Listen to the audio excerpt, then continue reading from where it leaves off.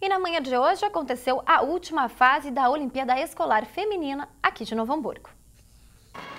A competição reuniu estudantes de escolas particulares, estaduais e municipais. No total, são 6 mil inscritos em diversas modalidades. As Olimpíadas Escolares mostram a importância do esporte na vida das crianças. Isso é muito importante para essa integração e mostrarmos também para a cidade, mostrarmos para os nossos bairros essa importância que eu considero muito importante, esse envolvimento, mostrando para todas as crianças na nossa cidade a importância que o esporte tem para o desenvolvimento do caráter e desenvolvimento social de nossa cidade.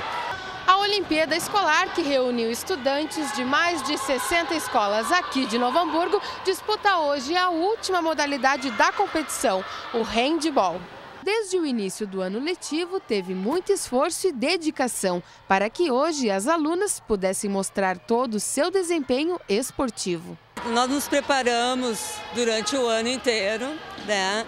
fizemos muitos treinamentos e é a primeira vez que a nossa escola participa comigo né, nessa competição e a gente está muito feliz.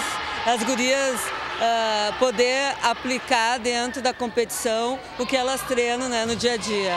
Gabriela é uma das alunas da competição e ressalta sobre a importância de dar o seu melhor na hora da disputa. Eu estou achando muito legal, a gente tem treinado o ano inteiro e chegamos aqui, o primeiro jogo nós já ganhamos e espero que os próximos a gente ganhe também. A gente treinou bastante, né? E a gente está aqui para ganhar e para se esforçar. Espero que a gente continue treinando para os próximos anos participar de outros campeonatos.